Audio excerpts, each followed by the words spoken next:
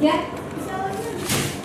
Ekmekle ilgili yılbaşına kadar bize bir müracaat da yok. Bir zam vermeyi de olsa da düşünmüyoruz. Ben fırıncı esnafı arkadaşlarından bazılarıyla daha Kasım ayı içerisinde bir görüş, bir toplantı yapmıştık.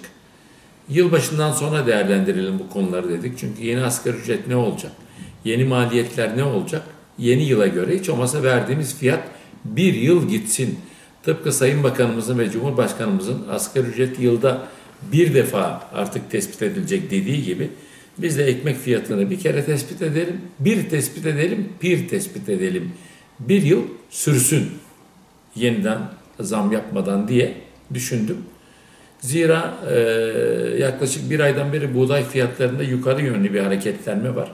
Bu un fiyatlarında etkilemede 500-550'den 530'dan e, 600 lira 650 lira doğru 50'lik un çuvalları gitmeye başladı.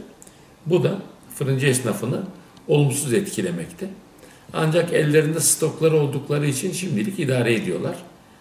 Ocak ayında yeni asgari ücret, yeni maliyetlerle komitelerimiz hesaplayıp ekmek fiyatını inşallah Ocak ayı içerisinde belirlemeyi planlıyoruz. Bir tane alabilir miyim? Ekmek yedi buçuk lira oldu abi.